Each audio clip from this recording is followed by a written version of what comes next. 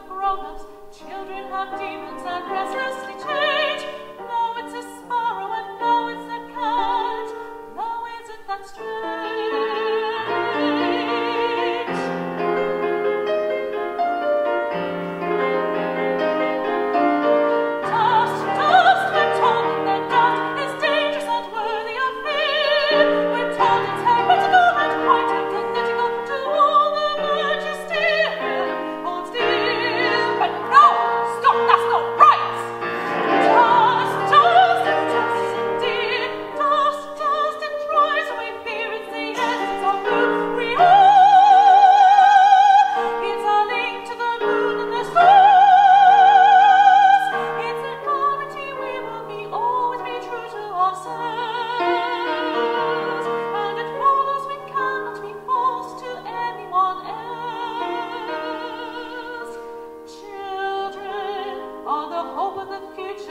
church.